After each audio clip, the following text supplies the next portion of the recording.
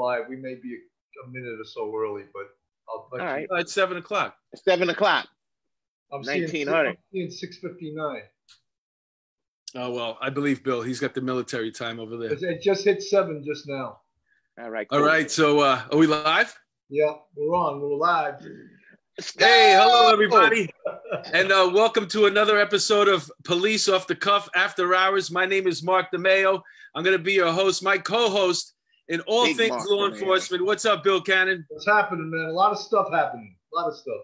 Well, we we couldn't have a better guest. He's returning. Um, he's uh, he's uh, underdressed tonight slightly.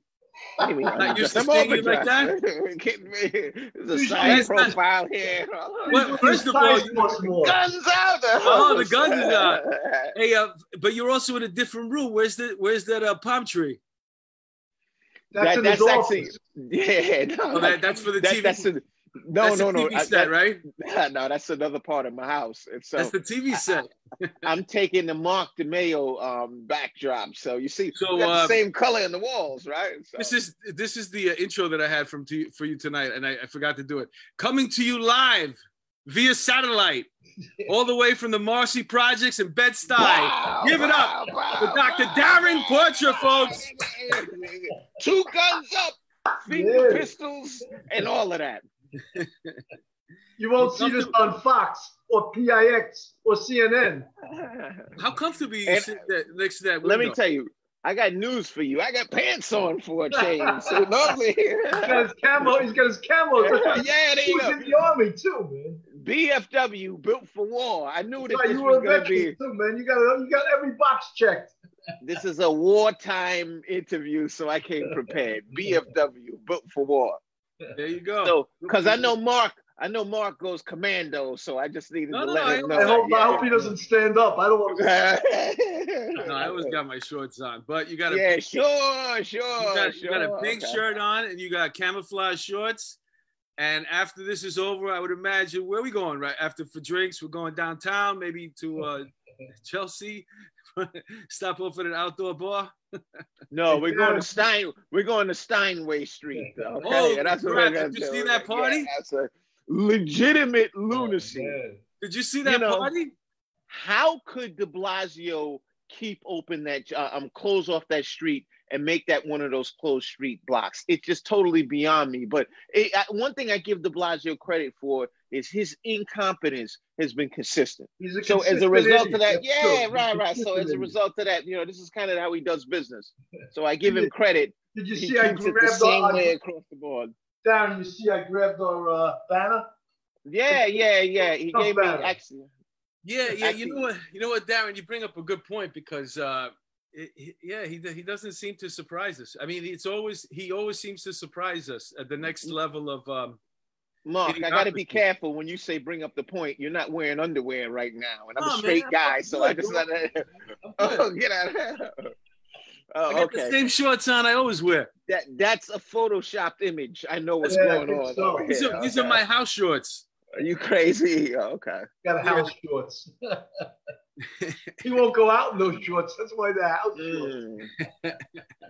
I play Yeah. beat ball in these shorts. Everything. I never wash them. And Got Bill and, and Bill is wearing a fishing net below the waist. hey, I took my And spin only- class today. Yeah, he took a. Zumba. I'm Yeah, yeah, I saw pounds, it, you know? Bill took a Zumba spin class. What- outside. No, what did you do? Zumba today? No, I took spin, not Zumba. Oh, spin. The bike. Now, now let me ask you: Is there like a, a a virtual image that's on the bike where there's like videos and things to that effect, No, where there's there's- like team building? was Okay, a uh, there's a leader. There's a spin leader. She's right, but it's all right. Oh, so the leader is at the front, so you Yeah, don't yeah. have like the the virtual the um I No, guess not like the- not like okay. Peloton. That's Peloton. Oh, okay, I got you. so- I got you. Two hundred dollars one of those Bikes. But you guys, you said you guys were outdoors today, right? yeah. Did you ride around the neighborhood and, and enjoy No, the whole neighborhood in, in the sun and stuff like that? It, it had a it had a, uh, a like a tent over us. Oh, so you, You just know- you just rode the bike in place, Yes. Yeah. even even though it was beautiful out, and you could have probably just went for a fucking ride by yourself. Well, Bill, I also noted because you you were one of those guys that had like one of those iPads attached to the bike, and you were looking at Lizzo porn, and it allowed yeah, yeah, right. yourself to, to manifest. you know? I get kicked out of this gym if you, I do that. You, you you had a lot. Of, I know you got a lot of love for Lizzo. That was some of my students on. in college were viewing porn while I was lecturing. You know, you know, long before this Peloton thing came out, I thought of uh, a software for you to put on a on a stationary bike, or not a stationary, uh, a treadmill, where you'd be running, and the closer you got to whatever image that you want, you like, you enjoyed. A cheeseburger. Uh, they, no, well, they would lose another article of clothes. so the closer, you know what I'm saying. So you keep chasing them, and then at some point they would be naked, and there'd be another one, and then that, that was my thing.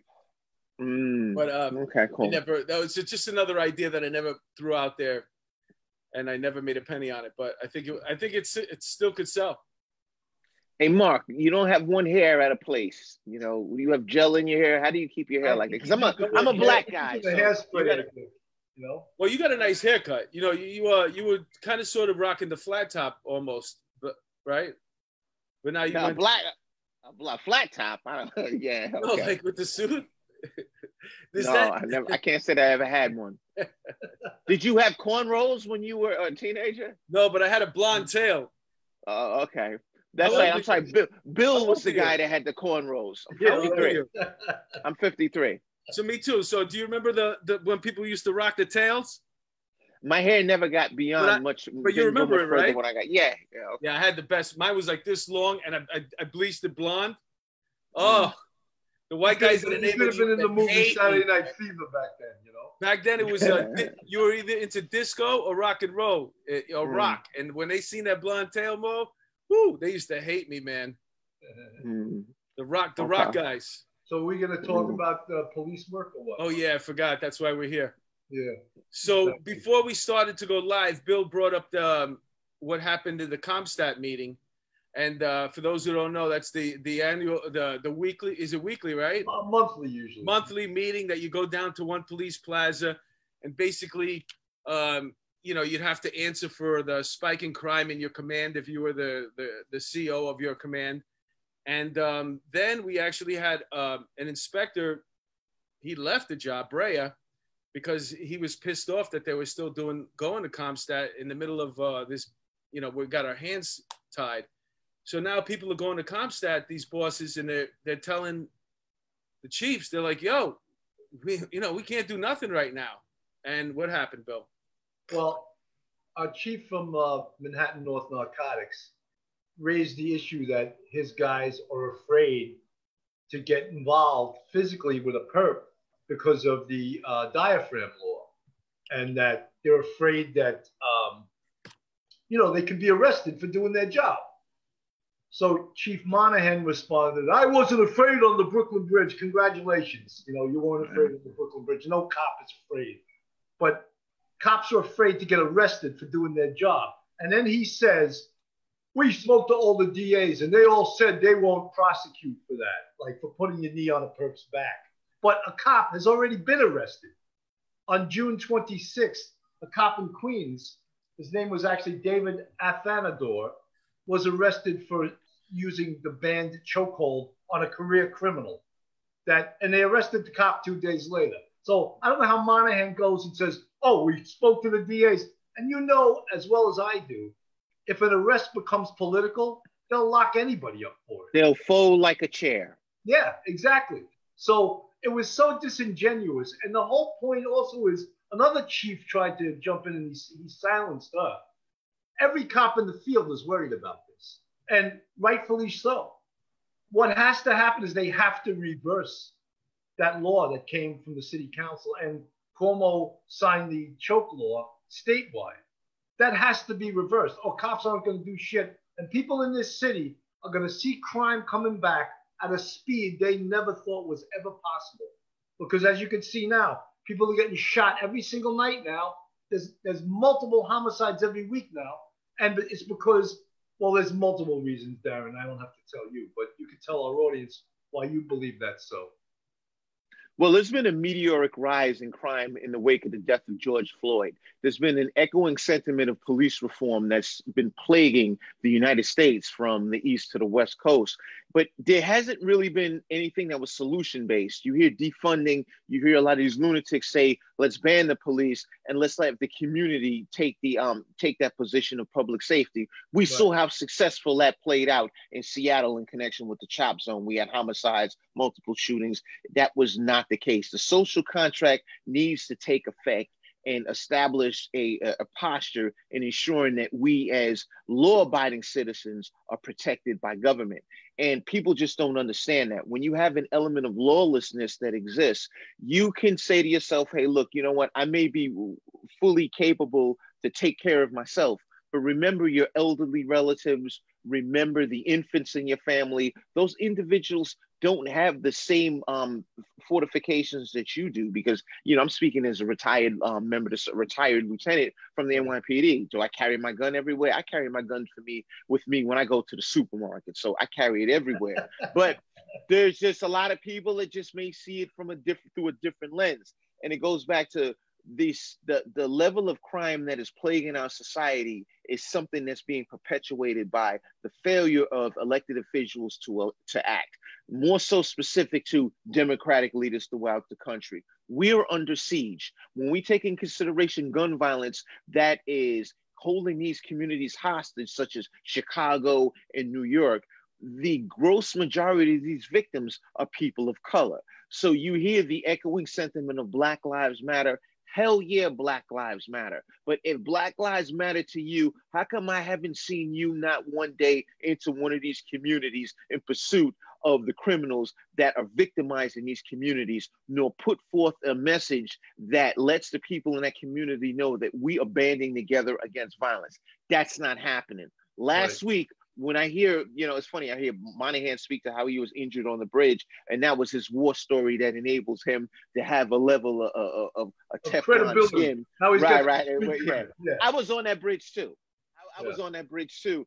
And one of the things I didn't see when Monahan was injured, I believe that it happened, of course, because there was video that supported his his, uh, his position in this. But it goes back to I we were marching with the clergy. There were police sympathizers and clergy and the march was in eh, eh, in opposition to gun violence and violence that's plaguing our communities in the wake of this crime surge. And we were demanding an answer from Mayor de Blasio to take action and take action now.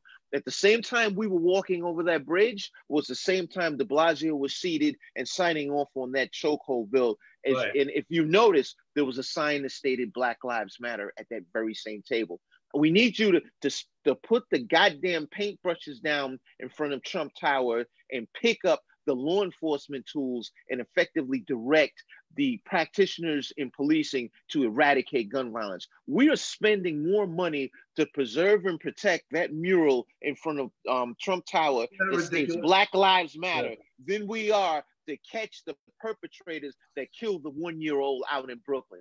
We clearly don't have our priorities in order. And this is a sentiment of the failed policies that are emanating from City Hall. It's outrageous. Just to get back to the CompStat meeting for one second. If the Chiefs brought this up at a CompStat meeting, which I don't know if you ever presented at CompStat, but it's basically a bully pulpit for the dais. I've been to CompStat numerous times. Yeah, they beat, uh, they beat you down. Times. So you, you could tell how timidly this chief said this. Once he was confronted by Monahan, he became timid. Initially, he wasn't timid. He just said, My guys are afraid to take action. And then Monahan came across like, you know, oh, yeah. He, he doesn't get. The only, said, the only never, way they'll change should never be afraid. Yeah, the only well the way they'll change this law is if cops aren't active, if they're not making arrests, if they're not engaging the community. Then they'll have to change it back because crime will be out of control like it was in the 90s. But if you still do what you're supposed to do with the threat of arrest hanging over your head, first of all, you're a fool. And second of all, I don't know how he could say, oh, the DAs, we spoke to them. They're not going to. Are you kidding me? Are you kidding Sound me? Soundbite to have when you get indicted. Yeah, yeah, exactly you need to read the tea leaves and the tea leaves specifically state that this is something that's up and coming you can guarantee that you're going to get arrested if you embark upon this level of conduct And Bill, you mentioned that a few minutes ago when you spoke to the arrest on um, out in Far Rockaway when the officer put his arm around the the the, um, the perpetrator's neck in attempt to take him into custody or restrain him. It was only momentarily, I because I saw that video and I analyzed it frame by frame.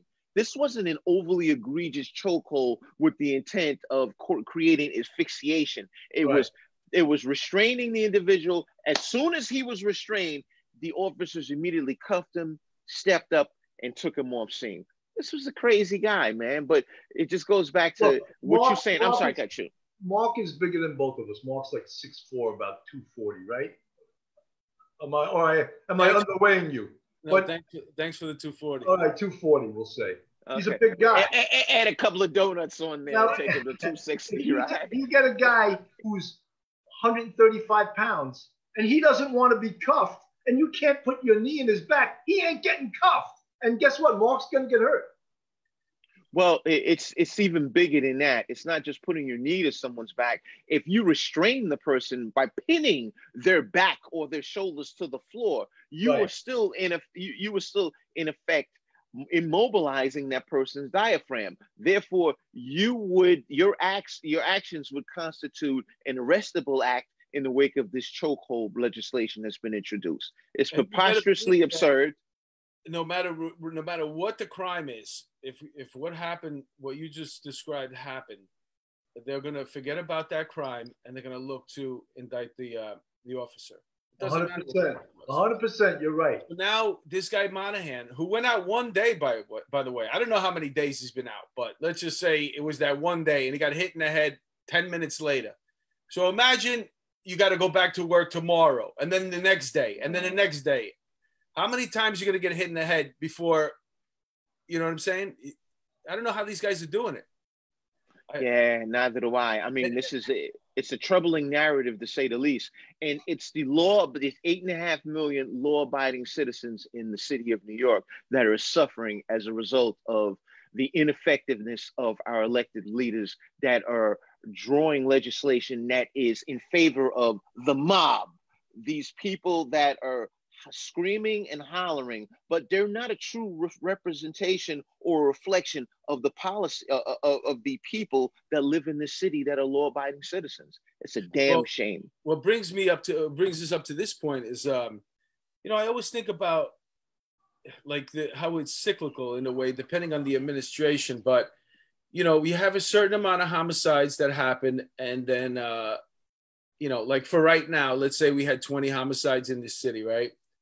And I think maybe 16 of them were male blacks um, or, or African Americans, and the other four were Hispanic. And it just seems like, you know, and, and then you think about Chicago with Lightfoot over there, the mayor, how many homicides they have every weekend. Lightfoot, a wrong foot. Also, foot, yeah. also, uh, people of color. And it seems like, um, I hate to say it, but until this white person gets killed, and then it's like, oh, okay, that's enough. That's enough. Now we got we got to stop. We got to let the police do their jobs. Do you know what I'm saying? It seems like these, for some reason, nobody like they don't pay attention to these homicides. They don't you pay know, attention it, to the numbers because if you did and you said, I don't want any and another person of color dying in this city, you know, I'm going to let the police do what they have to do because at some point they're going to let the police do what they have to do. But at that point, it's going to be so many lives uh, that are lost already, and most of them are going to be people of color. You know, you're absolutely right. Bill and Mark, you can relate to this story. You guys remember years ago, I think it was like the 80s. Um, Watkins. We had, I'm sorry? Uh, the, the, family. Yes, yes, yes, Brian exactly. Watkins, remember when he got the, the knife plunged into his chest in the subway? Protecting his mother all hell went broke loose. That's exactly with, my point. Yeah, That's yeah. About I not like like like this ship overnight fan at a hundred miles an hour, and we need to do something, and we need to do it now, and that's what it took. And it's just it's just so unfortunate, you know, I, because one thing that I do credit the NYPD with is you have an amazing collection of talent that falls within that 38,000 off, sworn officers in the NYPD. You need to allow the practitioners to take flight and embark upon a campaign of law enforcement that is sound for the population. Policy is coming from City Hall, it's not coming from one police plaza. I'm not telling you that you need to just uh, take the reins off the cops and let them do whatever the hell you, that they want to do. No, it can be a tempered response, but it can be sound. And both of you were on the job when we had Operation Juggernaut back in the early 90s. Um, it, it, it kind of ran like um, consistent with the uh, the zero um, zero tolerance policing under Bratton. We had amazing gains as a result of taking action against these quality of life offenses. Now is not the time to negotiate. Now is the time for aggressive aggressive forward police act, police action. When I say aggressive, that doesn't mean that we're looking to violate people's um, constitutionally protected rights. No, but what I'm saying is now is the time that we really need to take the cuffs off of the. Uh, we need to take the cuffs off of the cops and put the cuffs on the criminals. You know that Bozo De Blasio had the balls to say in a press conference that our levels of incarceration are lower than that of World War II, and therefore this makes us that this this brings us to the safest point in our society. I couldn't believe that's said not, that. yeah, yo. I, when, when I heard that, I just said somebody should just run him over this, with a This guy is just right a jacket on the podium. Well, prisons are empty. That makes us safer. He said okay. that. He actually said that. I was like, I couldn't believe he said that. Yeah, I was thinking about, and there was no one to nudged him on the side. No, he's said, a fool. Wait, wait, he's just a buffoon. You know. Yeah. I was thinking about that statement. I was thinking to myself, what what is he talking about the safer part? Where, where, where, like because I'm sure in his brain somewhere he has a there's something safer because uh, maybe the corrections officers are safer because of less well, yeah, releasing career criminals from state right. prisons, emptying Rikers, that makes us safer. The know? only people that are safer are the correction officers. Yeah. you know, and it's just so unfortunate. Um, you need a person like Bill that's a practitioner working in homicide for years on end that has a, a, a strong understanding of the mindset of a lot of these guys that are on the street that should be incarcerated. So you need to sit down. When I say you, I mean they're gonna reject your ideas, Bill. So don't even think yeah, that this no, is gonna happen. That. But but at the, yeah, yeah, at the same token, but we just really need to have a practitioner-based panel that that has that that employs an information exchange with our elected officials that are willing to fall behind or or, or uh, uh, believe that what you're saying is a sensible and plausible solution. We have Jumaane Williams, who's the New York City public advocate, that's a lunatic. The inmates are running the building when exactly. you have him at the helm. Exactly. And then you have Corey Johnson, is the, who's the speaker of the city council, which is the biggest lunatic on the face of this earth. He needs yeah. to go back to Boston. He doesn't understand the concept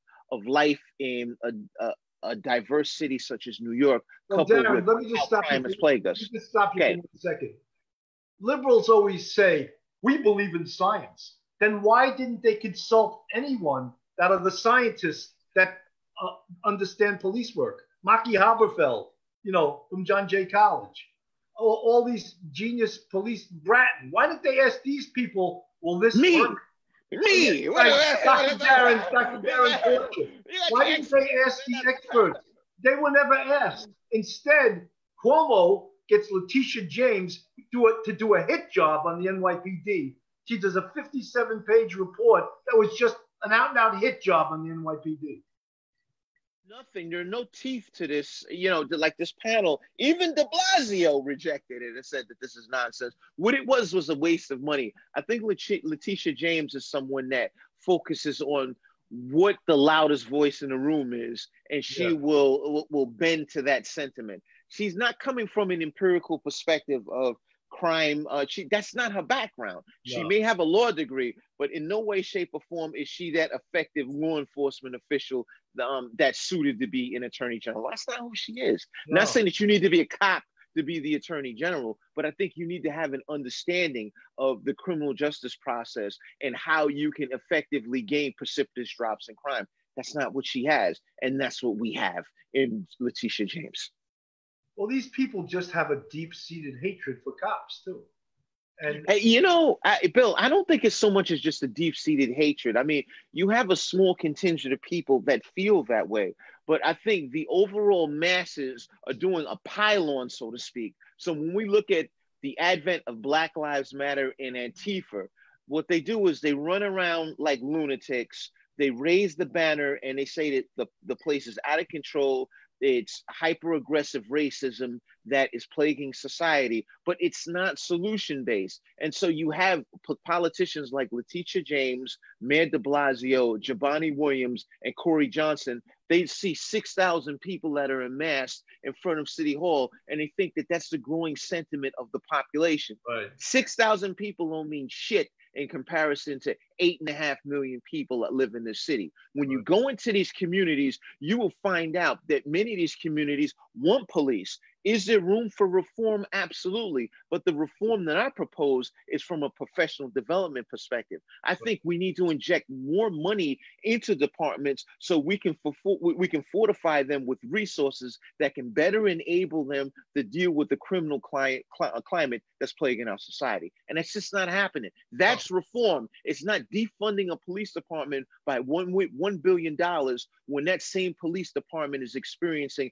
precipitous drops in personnel as it relates to attrition and not having the backfill that was scheduled to attend the police academy. The, the, the ranks are stretched thin, and the cops can only do so much, coupled with uh, these assemblances of protests that are happening throughout the city. Now we have to eh, we have to detail a, a series of cops to manage these disputes. But what who's managing the radio in these precincts that are under siege? We're very limited with the boots on the ground. And not just that, Darrin. Who would want to take this job now? How are they going to Eric, recruit um, people to take this Eric job? Adams, um, he wants to do like some sort of study or to do an investigation into uh, radio call response time because he feels like the uh, uh, sector cars are dragging their feet going to calls. He dragged his it- feet for 20 years, and he wasn't even doing a slowdown. That's just the way he worked.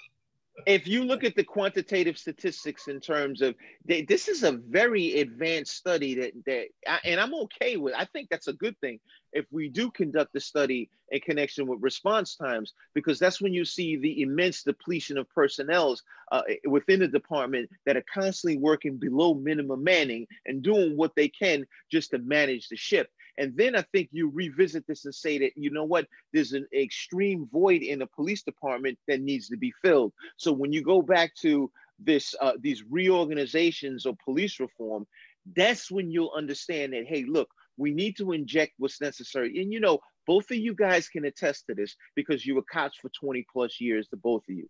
We've always been behind the eight ball as cops, and we've worked with what we've had for the longest. And the same thing was told to us year on end. Yeah, we know it sucks. We have a proposal in to get A, B, and C, and it never came to fruition. So we just did what we had. We, we did what we had to do with what we had. what was that model? We've done so much for so long with so little that now we can do almost anything with nothing. Yeah, yeah. I No, just you got to guys, get someplace. One second. Go ahead, guys. But you know, Darrin, I just wanted to bring up another thing. There is a blueprint for keeping crime low in New York City. And that blueprint, we, we could call it, was drawn up by the forefathers of CompStat, Jack Maple, uh, John Timoney, Louis Anemone, and I'm sure I'm leaving some people out. but that- those those are the three key figures, Right. So that blueprint was drawn up 30 something years ago. primarily Jack Mason. Since then, crime has dropped because they followed the tenets of CompStat. And Absolutely. they tweaked it here and there when necessary. And it was funny, the guy today in the CompStat meeting was talking about going back to buy and bust again. And Yeah, to, I heard that. I yeah, heard to that. me, That was the guy from that. that- yeah, yeah. No, they did stop. They stopped using undercovers for a period of time um, because there were there were a couple of controversial shootings, and the undercovers were in somewhat of an uproar, and they were just uncomfortable going out. And so, what they revolutionized it and made it a SNEU operation. For those those of you that don't know what a SNEU operation is, that's basically officers in uniform um, conducting uh, observations resulting in the uh, the arrest of buyers and sellers. And you know they're just getting by on this stuff, but I just think it's more checking off the boxes Right. and not da- not not looking at it from a qualitative perspective as a how does the machine run effectively. And so, Bill, to your credit, the foundation was built 30 plus years ago by those three phenomenal individuals. But all of the gains that we've achieved in policing have have been single-handedly dismantled by the De Blasio administration in a matter of three months. You know what though? Honestly, when I, when I hear that they they're talking about buy and bust, I'm thinking to myself right now. Uh, I don't know. Is that what the most important thing is right now? You know what well, I'm saying? well when you look at why the department continues to like just go back to business like if i see a car on the um, a highway guy you know in his spot you know looking with the radar gun looking to get a speeder i keep thinking to myself is that what we're doing right now when we got protests all over the fucking city damaging you know because they're going after federal buildings and every night it's a thing um why are we still going back to pretending like we're gonna just for the numbers' sake? Well, you bring you bring up a good point, and you have to look at when we go back to the early 90, 90s. One of the things that I spoke to briefly was Operation Juggernaut. That's when you put immense levels of personnel into narcotics. And what they did was a lot of buy and bust. The buy and bust wasn't, I mean, getting drugs off the street was one thing, but the terminal piece to that was eliciting intelligence for what was happening in those particular neighborhoods. You lock somebody up for selling drugs and they give, there's an information exchange where it's look, you know what? I'm not willing to do time for this, but I will bargain with you in, in a proffer agreement is what we refer to it in the courts. And in in exchange for giving you great information, my sentence will be reduced. Believe it or not, it worked well because it gave the police department an immense amount or immense level of intelligence as to what was happening in those communities. You even had a narcotics homicide unit Whereas what they did was they focused on areas where there was a homicide and they sent out buy and bust teams. They made buys and they flipped the people that they arrested who gave them information that was terminal to arresting people in connection with the commission of these homicides. I understand what you're saying that you may feel that look, drugs are not the preface to what's plaguing society in the wake of these demonstrations. Just, you know, when you're at a fucking detail for the hundredth fucking day in a row you know, it's another protest. It's a fucking another. Uh, and you want uh, that. Then there's some guy in highway. He's sitting there looking to write a, a fucking speeder. It's like no. Let's fucking put an end to this fucking thing. Get everybody right. on board. Knock the shit out of this fucking thing. You know what I'm saying? I mean, when we're thinking about like, okay, there's only 35,000 cops in this city. You know what I'm saying? So right. why spread it even thinner? Address the fucking problem. Make it a real inconvenience for anybody to come out and want to destroy anything. Stop letting these guys get overmanned and fucking bottle shit. You know what I always thought about too? It always seems like there's a front of police, and then there's uh, you know, the protesters, but behind them is all the shit coming. The why don't why don't we have a line of fucking coming right behind them? Well, and one of the things picking them off every time they throw something, fucking grab them, lock them up. They should be coming from behind because they were told to like to take a light touch. Listen, yeah, you know, yeah, what is the and that came and what Bill is saying is accurate. That came from City Hall. Yeah. That didn't come from the hierarchy in the department. Here's the thing too, because you need police commissioners that are willing to fucking lose the job. Yeah, I agree. You know what I'm saying? And oh, they totally, should all come totally. together. Anybody who's up for that job should all come together and have a meeting and say, you know what? We're going to fucking take care of this city no matter what. We're going to do what we do, no matter what. And if you get fired, you get fired. And that everybody knows that, that they're going to go out. Everybody's thinking about this next fucking position that they might have somewhere, the next fucking job. I think well, take care of the one you have right now. Take care of the people that you fucking came up with because, you know, demanding fucking buy and bust and this. No, let's fucking put an end to all this fucking. Have you been down to City Hall over there? Uh, the, the... Yeah, I know Bill. Bill had something that he wanted to say, and I don't yeah, want to no, step. I, I think that if uh, Commissioner Shea, PC Shea, and Chief of Department Monahan both retired, you know, more or less resigned, people don't realize they don't lose their job. Shea has over 30 years, Monahan has over 37 years. If they both retired, that would send a huge message it would probably help the next people. Yeah, but they don't need to retire. What they need to do is stand up first and get fucking fired. Get fired. Yeah, these exactly. officers to work, Right. and then the next Well- fucking police commissioner that gets picked also knows what the deal is. We're not gonna fucking fold. We're not gonna fucking bend over backwards. We're gonna lock people up if they destroy property, and then you know, then that's Except the mayor, the mayor is like the president. He's the commanding officer of the police department. Yeah, that's Yeah. the point. And if he doesn't have anybody to go to, see, he has that thing that you're gonna be fired. You're gonna be fired if you don't listen to what I say. So if mm. every single fucking chief that he goes to after that is gonna Mark, fucking Mark, I, I think that those are valid points, but this is what what do you what Mark Bill, what's your take on this? I think that if Shea was to come to the forefront the day that chokehold legislation was introduced and ratified by um, Mayor De Blasio, if Shea was to come to the podium and say, "Ladies and gentlemen, unfortunately, the direction that the mayor is taking the police department in does not run consistent with public safety." So myself as the police commissioner of the NYPD, I am now electing to resign my my office based on the safety for citizens in the city of New York. If he was to step out like that, that would have forced De Blasio's hand But for whoever would have come in. by Cuomo. That was signed statewide by Cuomo. Yeah, But but, Mayor- you're gonna but- but- but Cuomo cannot- jump into that position. Cuomo, Po- Cuomo cannot set the pre, cannot set policy for the NYPD, nor can he appoint nor remove the police commissioner. The police commissioner is appointed and can be removed fi- by the mayor. And if if Shea would have taken that position, he could have gotten any job he wanted anywhere in the world Yeah. because people would have looked to him as a, a, a person that has a real sound foundation in public safety, and he is not going to alter his pathway in the wake of an elected official that doesn't understand the concept of law enforcement. That would have happened. The next person that would have been appointed police commissioner could have run all over de Blasio and said the same thing at the podium. Look, you know what?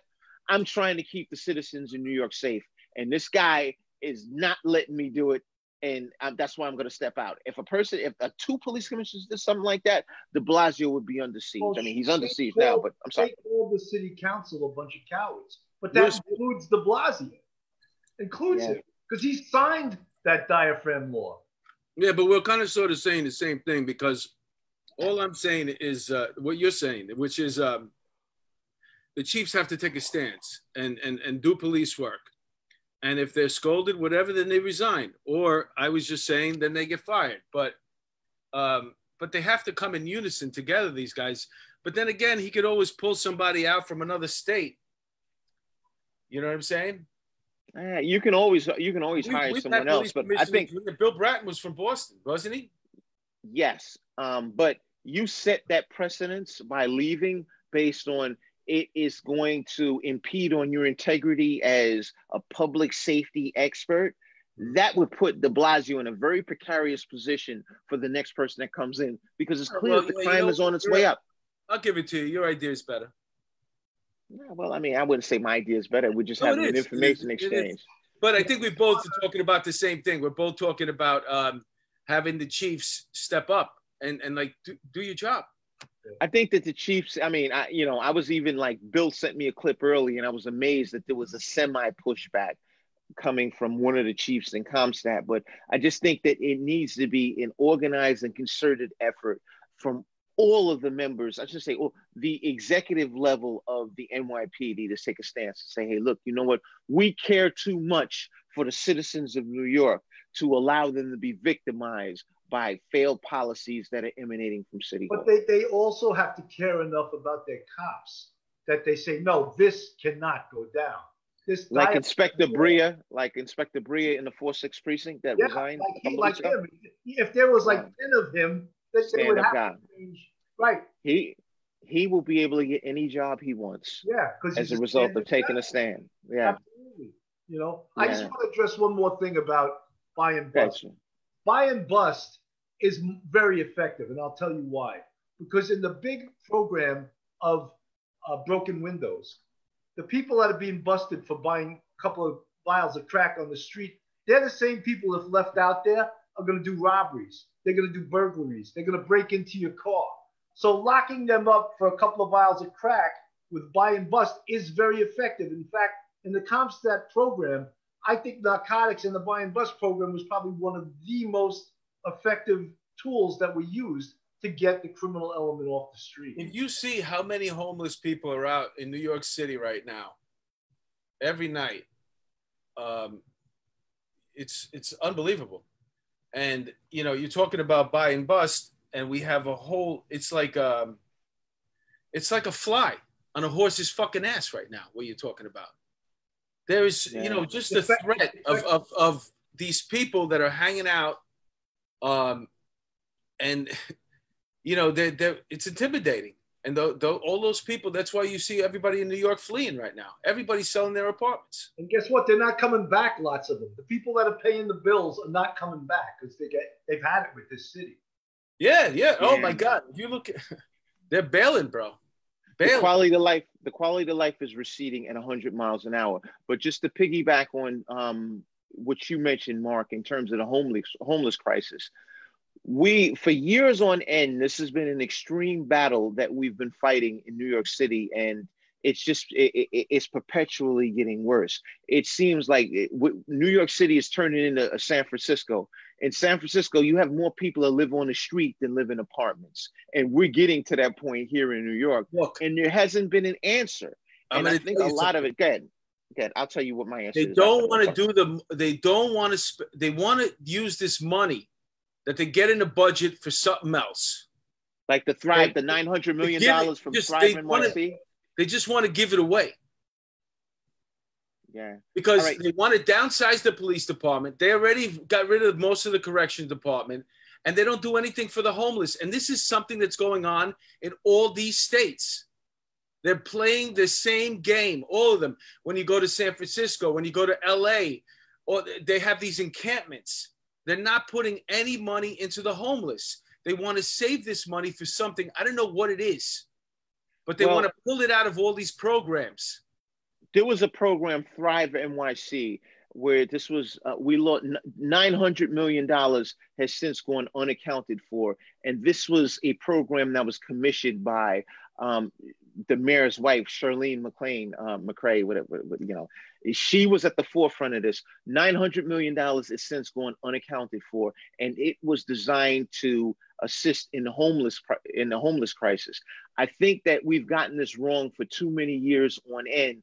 And oftentimes we've tried to bifurcate police as a solution to this. Police are not a solution to the homeless crisis. This is something that requires psychologists, um, so people that are, are of a, a sound practitioner's mind in dealing with social conditions police are just uh, unfortunately we have been that person that's had to backfill the failures of these other organizations we right. need to get those practitioners at the table to devise a solution and it hasn't happened one of the things that i hear and both of you guys can attest to this how many times have you run into homeless people on the street and you've offered it because we had the cold weather alert i believe it was like whenever it went below 32 degrees you had to remove these homeless people out on the street right. so in the midst of one of those cold weather alert emergencies you speak to the, the homeless people um, and they don't want to go to the shelters. One of the reasons why they don't want to go to the shelters is because they'll tell you in many instances they are unsafe environments. Right, right. If those shelters are unsafe environments,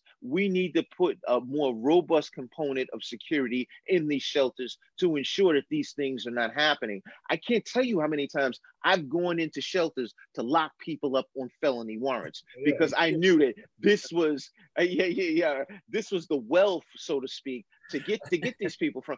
I mean, it's a sad story, but it goes back to there are very violent people in these sh- in these shelters. It's basically an offshoot of Rikers Island in a lot of these shelters. So it, eh, we need to have a more robust security plan implemented in these shelters, and then you'll have more people that are willing to go into these shelters. I'll give you Bear in mind, the plan is not for long-term re- uh, for a person to adopt a homeless shelter as a long-term residence. It should just be a transitionary okay, point into into quality housing. Yes, give you a better one. Let's turn Roosevelt Island into a freaking anybody who's homeless can go there and get a fucking uh, their own room. Well, they, I mean, right now it's Randall's Island. Yeah, Why not? Randall's Island is. Well, is whatever. But I'm just saying, okay. it's like you know, you're talking about uh, adding more security and you know, even if it's a fucking tent city, create a fucking whatever they want. but just give them a place to fucking to just be.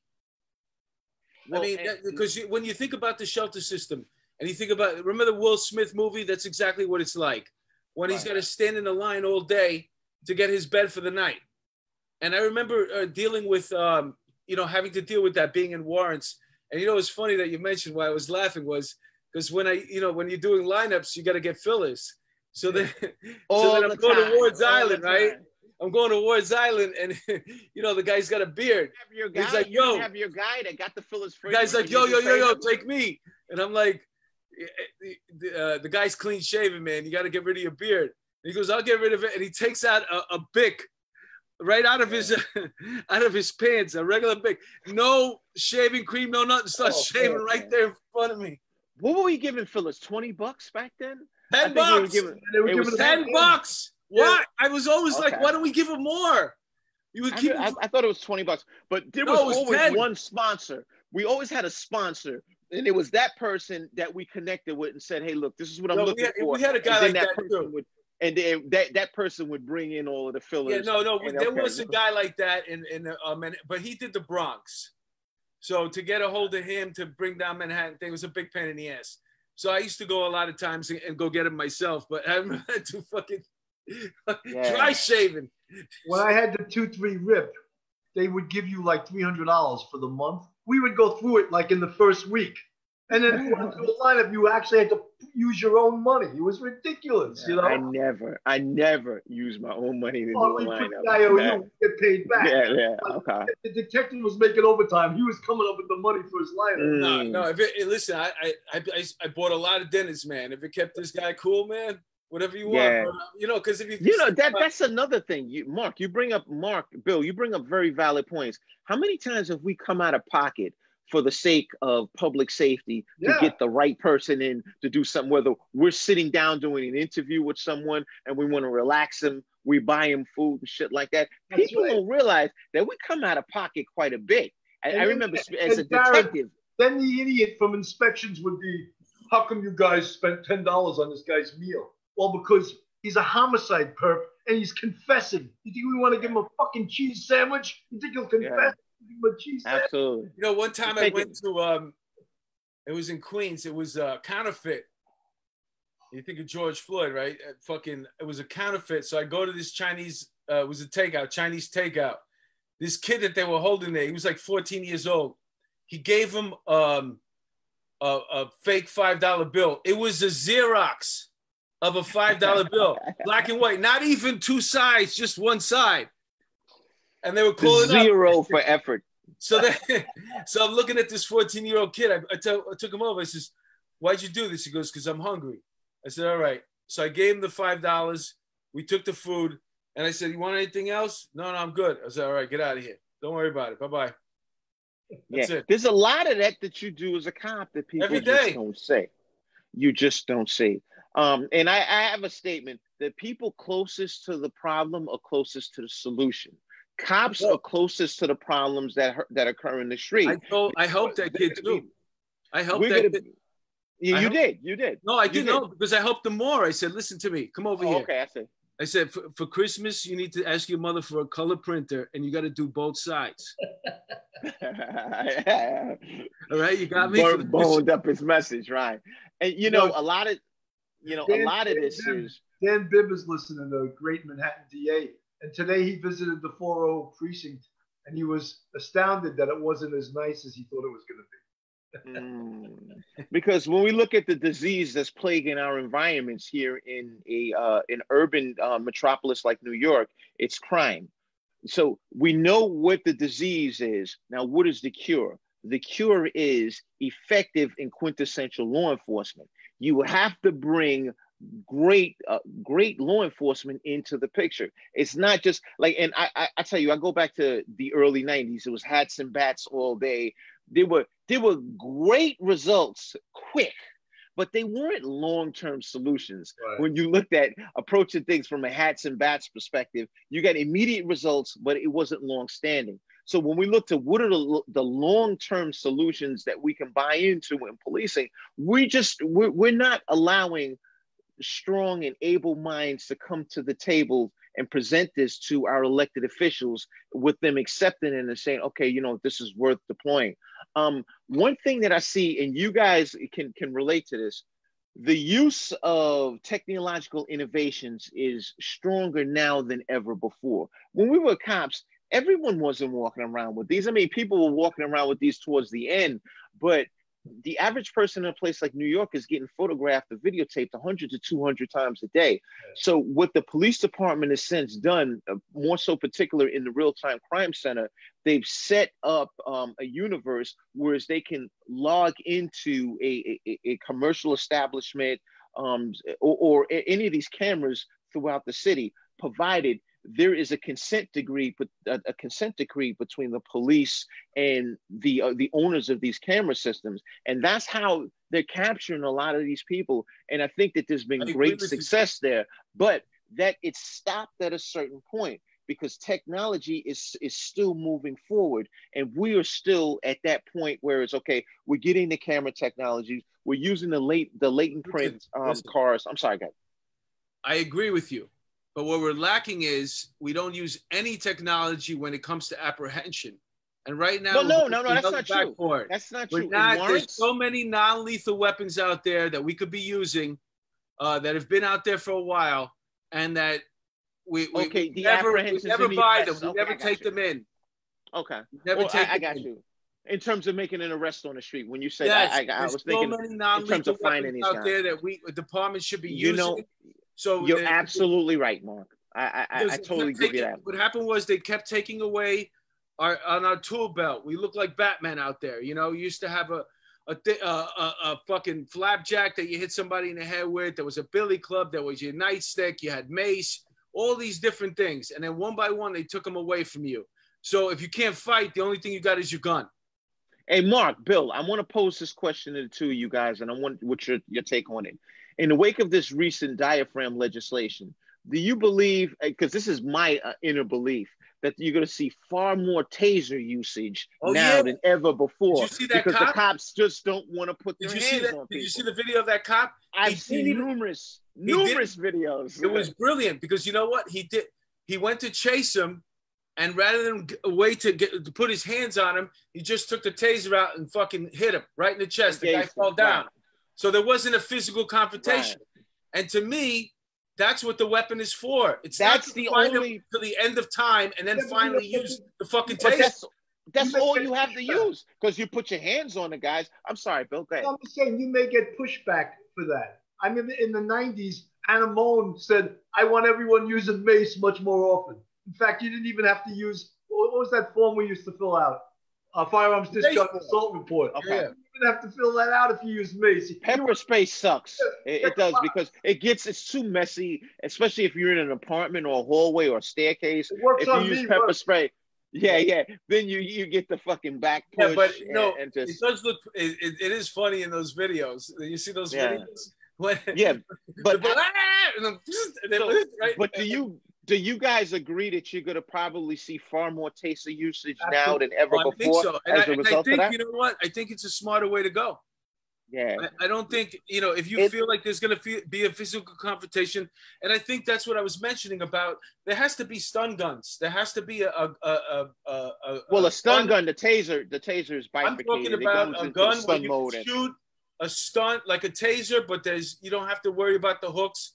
There's a light there, and you just like the way you stun them, like zzz, you could do like that. Star Trek, but from far away. No, this yeah, like out Star there. Put it's them, out there. Put, put, your phasers in stun no, mode. You can, wow. you can, you Why not teleport the guy right to the precinct? no, no, because what I'm saying is, is that the whole thing is just to avoid a, a confrontation where they get hurt. A physical confrontation, hurt. right? You know what I'm saying? Right. Are you going to comply? Yes or mm. no? If not, stun. Boom. That's it. He's on them. No, yeah, but I, I, just what I was getting at with the taser usage, it's just really going to go through the roof. And this is what's going to happen next. All of these viral videos are going to come out with with people getting tased, and then that's going to be the next um, resource that's going to be removed from officers. Well, right, there are right. just too many people that are being tased, and so we're going to take that away from you. And now, what's next? Well, there's a stun gun that's coming out and I don't know this for a fact, but somebody should be making it, or if it already. Well, well, well. Where, I mean, where it doesn't damage you, You know what I'm saying? Where, like, for example, if you have a pacemaker and you get hit with a taser, you get fucked up. Yeah, That's, yeah, that's yeah. the thing that's going to happen. That's the thing. Somebody's going to be. There have been there have been There people. that has been, but there's going to be a new one, and that's when the fucking taser thing is going to like go through the problem that you just mentioned. But in in the meantime, there has to be a stun gun where you could immobilize somebody through their nervous system where they can't fucking move or control their body without damaging them. And that's Yeah, what you need to get your hands on. I don't think it's been invented yet. You know, it's out Yeah, there, well- bro. Are you kidding me? No. It's But out it, it, it, it goes back to we need greater logistics for officers to assist them in lieu of putting your hands on people because the days of putting your hands on people are behind you. And I'm not saying it was, you know, I, I'm all for. I hated putting my hands on people, to be honest with you. But there were certain situations that you know you had no other choice. You know, a guy's fighting with you, for example. It's not hold up. I don't touch anybody, so we can't do that today. You have to do what's necessary to take that person in custody, whether they're using force against you or a third person. And I just think that we we really need to search for a, another weapon of choice, like Mark mentioned. That like I'm not familiar with the um with this non-lethal weapon that you suggested, but Well, I the just think that now-. I think now it, there's going to be a steeplechase to find that next non-lethal It's out there, weapon. man. These that's guys they good. go, they go to meetings all the time. They go to these um, and they get propositioned all the time. Uh, we used to when I was in the training unit, we always got bombarded by different type of training stuff. So if you're in the uh, equipment section or if you're in um, at the range, you're always getting bombarded. Those chiefs are getting bombarded with ideas, and they never ever take advantage. It costs money. You got to, you know, it's a big pain in the ass. So until it's absolutely necessary, they don't do it. And right now, it's absolutely necessary. You have to come up with something uh, more non-lethal weapons. The bolo wrap is another one. You know what I'm saying? That thing, it's not going to choke you. I don't understand. It's impossible for that thing to choke you. It goes around your legs, it goes around your torso. That's it. I don't understand. You can't use a bolo wrap on every single arrest. I'm not every single arrest, but when you can. Yeah. Do you know what I'm saying? I You just got a guy who's running away from you, you fucking shoot him with the bolo wrap.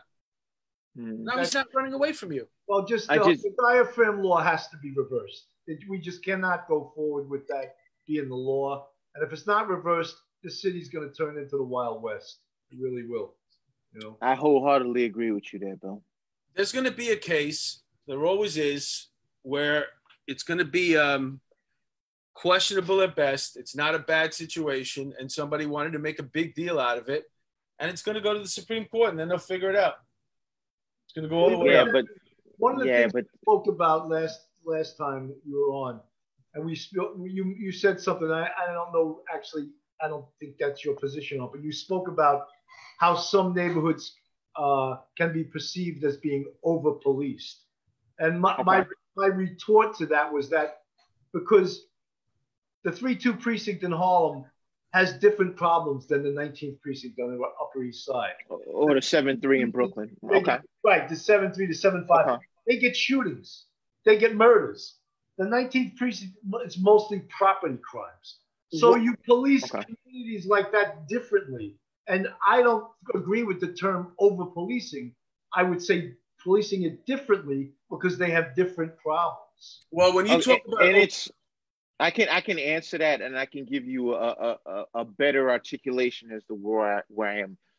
When I refer when I use the term over policing, um, and I think both of you guys can relate to this. These are places that we we gave out overtime for stop, question, and frisk, shooting overtime. It was proactive overtime that we injected into certain communities. And so as a result of that, what would happen? I would have, let's say, hypothetically, when I was a sergeant, I'd have maybe eight cops out with me. And I would tell them before they got out of the van, this is what I'm looking for for the tour.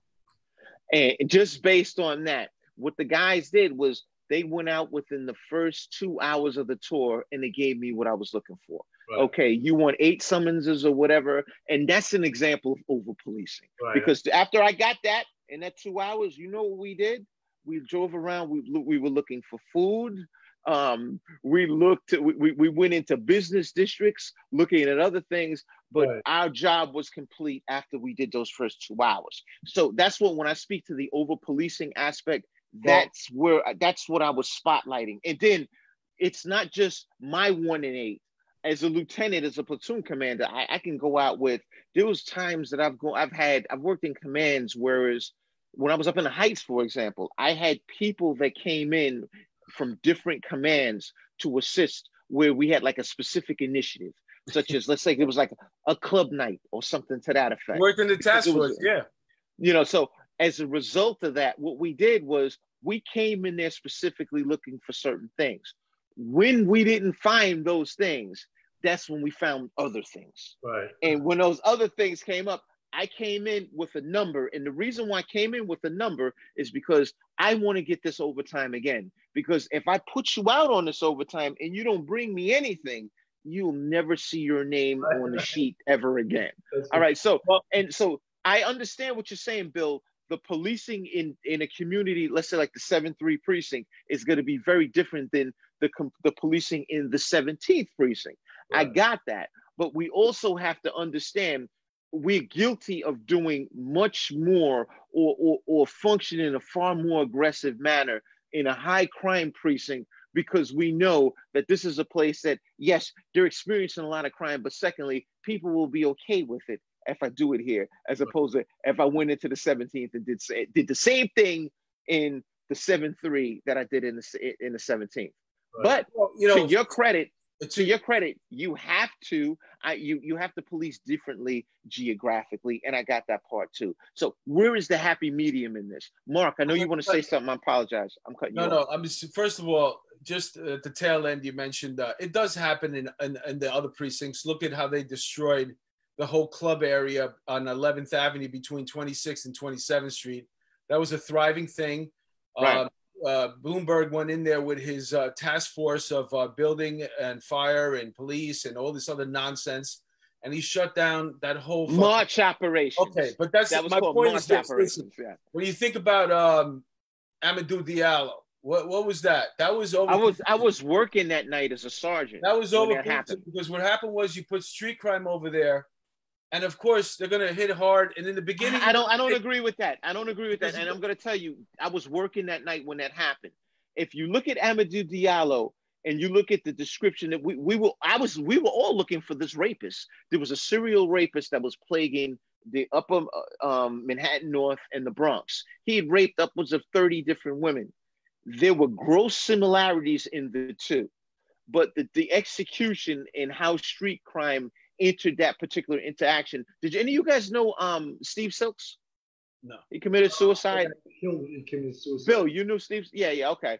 He was a duty inspector that night. I was a sergeant when it happened.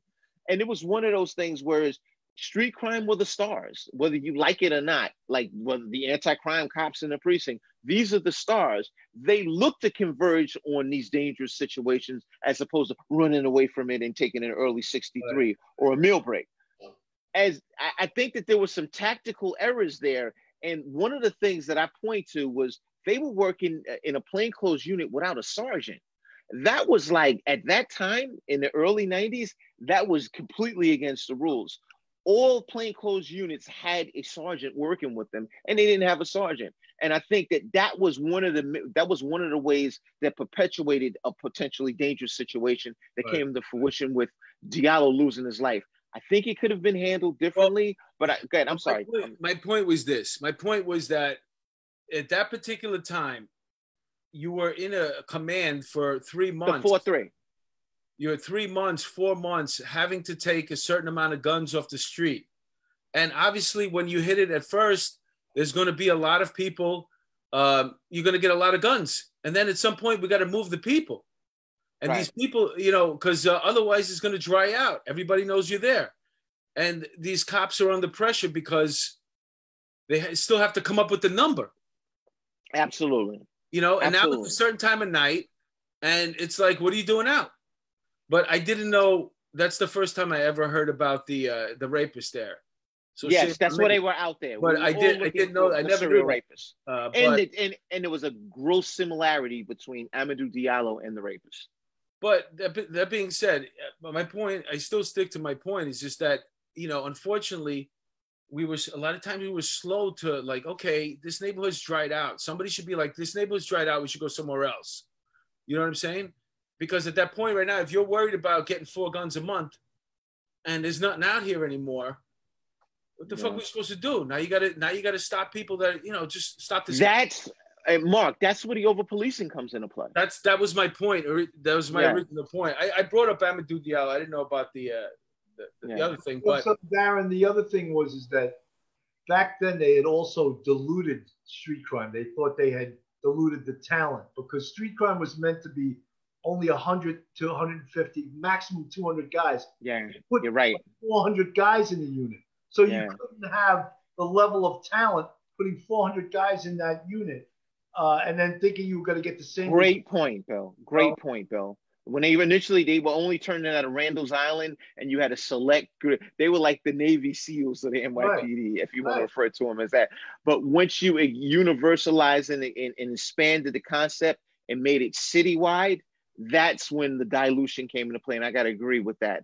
Um, but I think uh, what the department saw was quantitatively they were doing amazing work at this small at, at this small unit and right. they felt as if look you know it's this unit is so good let's build on the model of success and that's why they expanded it well, it was the wrong Safir. thing i think Safir said if we can get 5000 guns with 150 guys so if we have 300 guys or 400, we should be able to, you know, double or triple. Exactly. Right, but right, right. Captain Savage or Deputy Inspector Savage, who had been in street crime most of his career, told the CO back then that's not how this unit works. And I, I don't want to paraphrase him, but this is what I heard. No, no, I got you. No, no, I understand. That, you know, hey, don't get me wrong, also, too. When we have a lot of talented guys and we keep the number down and we jump from, you know, we stay in the precinct two or three weeks and we leave that was the whole methodology. I'm a, listen, right. I'm a firm believer in, unfortunately, this collateral damage. And if you want to do the numbers and you want to say that we were, I don't know, over 2,000 homicides a year, and then we went to uh, a little over 300 a year. That's 1,700 lives saved a year for how many years? It was probably like 15 years. So, you know, that that's got to account for something. You, you know what's yeah, but you know what's so weird about that, Mark? When we would make when we had two thousand homicides, we probably had more collars then than than at the time when we had the lowest number of crimes. Like everyone was going out and making collars then. You know, they that's when the cops. I find it's weird. I found that the cops were very proactive. Like back in the early '90s, like during the crack wars, yeah. I would go out with a team of guys, and we would actively go out in pursuit of filling up that prisoner van with bodies, and we did it. And they weren't drug collars either. You couldn't bring in a marijuana. A multitude.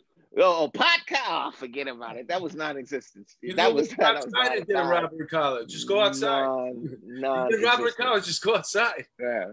So, but the reason why I bring that up is I, there was a there, there was a seismic shift in society as well in connection with people's outlook on the the the the social norms, so to speak. Whereas, like when we look at when you look at the true theory of broken windows, it wasn't just policing. It was if there's the term broken windows comes into play because if there's an abandoned building, we want to we want to fix it. If there's graffiti in the if there's the graffiti on the um on the streets, we want to remove it because people have the belief of if they're in a place that's maintained, they want to be a participant in maintaining it. But if nobody gives a shit, and there's garbage all over the place, then why should I give a shit? I'm just going to do the same as everyone else. So it went, uh, it, it ran parallel with the followers mentality, and it it worked, and it was consistent. That's interesting that you bring that up because you can't get rid of any of this graffiti right now. Yeah, like, what happens when we get back to business and the criminal, the courts houses are open? Like, how long are you going to stay with it looking like that downtown? I got news for you. The courts are up and running. That's a falsehood that's being projected by De Blasio well, but you know, and the like chief the administrative judge. I'm just saying even, the way it was. Um, right now, my understanding they're doing is, all these, uh, you know, um, these, um, what do they call it? Arraignments. They're doing them online right now. Yes, they are. And uh, right now, they're in the process of sanitizing that area that's been plagued with graffiti in the wake of the Occupy City Hall movement that's recently been removed. Well, they have people down there that they're cleaning the graffiti off of the off the walls and the streets. yeah, so as a result of that, um, they are looking to make that change, but the mayor should be embarrassed that he was the um, the elected official that or the incumbent that was in play when all of this happened. This is his fault. embarrassed at all. I think he's proud of it. I think this no, is no, no, no. He he has to because what happened is it universalized. CNN, Fox News, MSNBC all gave it surgical coverage to show that this is what's happening here as a result of the failed policies. And but but just going back to the other thing in terms of the graffiti being removed, and you asked me if the when the courts get uh, get get up and running, the courts are up and running. A lot of the arraignments are happening remotely, but people are still having their cases processed in court. Um, there's an argument that this 800 plus people that have open gun cases that are on the street um, because what they did was they extended the 180-80 day. 180-80 day is basically look if you don't bring the court the this this case in front of a grand jury by a certain number of days, then that person can can no longer be detained. We have a lot of that happening right now, but I, I just can't understand how those gun cases are holding in the positions that they're in. I don't quite understand how they how they're holding the grand jury proceedings because no one is getting jury duty let, um, letters and like how would they go online to do jury duty? That's something i don't know. Maybe uh, they're doing the one maybe they're they're they're dragging their feet with that 180 so that this way they can just dismiss the cases because they didn't bring it in court in time. Man i don't know if they took the just... gun off the street uh their idea probably is what do we need the body for the guns off the street that's their idea yeah, but guns don't kill, guns don't kill people. People do. Go ahead, Bill. I just wanted to bring up one thing. You mentioned uh, broken windows policing, and one of the things, the only way good broken windows policing works is if the DA's office is on board too, and they're not on board anymore. No. They can't even prosecute. You know, they weren't prosecuting the looters during the, the week we had the rioting. Bill, so Bill, that's. Bill, that's a terminal piece in this. But a lot of this reverts back to bail reform that was enacted by Governor Cuomo a couple of months ago. That, in many ways, is causing this because it, I can't necessarily blame the DAs if the cases are being brought in front of a judge and the judge is releasing someone without bail. So, I, I mean, the DA will present the case in an, in an open court, but it's ultimately the judge that's releasing people because bail reform is the norm. But Vance is not prosecuting lower level crimes, period.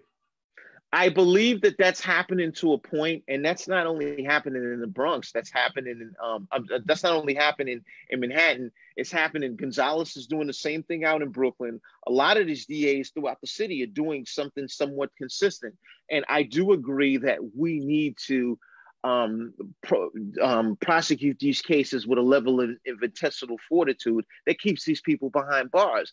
It's just not happening. And like, like, I said, it's like activist DAs. Where yes. did we get DAs that are activists? Sad but true. You know? Sad but true. Yeah. Sad but true. And you know who's suffering? The, the eight and a half million citizens that yeah. live in New York City. Exactly. And you know, when you release criminals, it makes us safer yeah, just just ask the mayor. I, I just can't, you know, that's like, it's unbelievable. It's an unbelievable statement. Emptying yeah, but, and emptying state prisons makes us safer. this is a guy that's out of touch. You know, if you listen to De Blasio, he'll tell you to go home, smoke pot with your 12 year old son on the couch, yeah. and everything will be okay. You know, so. Well, you, you know, they all have their own security, and that's the interesting thing. You know, you don't see any defunding of the mayor's security detail. Well, you know, and they all, yeah, that's, a, that's an odd thing. That's an odd thing yeah. is that all these people that are preaching to us about defunding the police, uh, they all have security. Yes. They go all, yeah. all afford security. Yeah. You know, so. and um, I'm investing. how anyone could volunteer for that detail to protect De Blasio or the city council. I wouldn't want to be near those people. Yeah, well, I mean, there were a lot of perks involved. You got to get Yeah, yeah, if you're a detective, you're gonna get first grade. Yeah, you're gonna yeah, you're gonna get cra- you you're gonna get promoted if you're a detective. If you're a sergeant, you're gonna get the special assignment money, I used to love meeting the guys that had grade from those units that all they did was suck dick, you know. And then when they tried, when they tried to work with you, and you're like, dude, where did you get first grade from? You shouldn't even have to be a detective, you know. They can't fun. invest. They can't investigate their way out of a paper. No, bag. I- I worked. I worked in the Warrant Squad, and I worked with three of the craziest people that I ever met, um, ever met in my life, let alone the job. And they, they were all in the Warrant Squad. These three guys, they used to hang out. They were a team. They were like all in one team, and they were all these big bodybuilder guys, right? And uh, they used to intimidate their boss and stuff. What And- borough was this? I don't want to say. I don't, I don't- Oh, okay. so anyway, so what happened was they got a call from one of their old sergeants that um, he he was in charge of the Bloomberg detail, and uh, they needed bodies. So why don't you come here? You know, this way you don't have to catch cases for a couple of months. He's never going to win, you know, uh, but at least you don't have to. You know, you take like a three month break from catching cases, then you go back to wherever you were. So of course these three crazy guys, the guys, these guys go there, and then Bloomberg wins. so now they're on the mayor's detail, and each, each one of them got bounced out at some point for doing some crazy shit. But it was just so funny that they lasted like a year or longer. And I'm telling you, these guys are crazy, man. Right. They were just skating. They You were know, just I skating. remember we we had a major case in the two three. It was either a homicide or something, and two detectives from Intel Intel came there for whatever the reason was, and Resnick made them do a building canvas. You had to see their face. They're like, "We don't do that. We're Intel. Go do the canvas. That's an order." Resnick was a lunatic. I Well, I gotta, guys. I have to work on something else because I'm totally behind on this. But I just, I'm, I'm so glad that you guys had me on, and I can't wait to come back on again. Time flies. I've been on an hour and 15 minutes. I feel like I've been on with you guys for 20 minutes. I It just time just totally. And I'm not even totally drinking flew Uh, I just wanted to say, Darrin, I know, I know, I know that you're really busy, and uh, you know, I really, really appreciate that you come on. I, I appreciate you guys having me. It's always a lot of fun, man. But Darrin, Always. next time I want you to wear a suit and tie, man. I'm not used. I'm to dressed. I want the Wait, TV and leave all of this. And I leave want all the of TV this. room, man. He looks good. I like the Sounds good. room. All right. That'll be on the next one, next version. All All right, right. guys, be safe. I All right. I hope to hope to appear again soon. All right. Thanks I'll again. All the best. All right, bye now.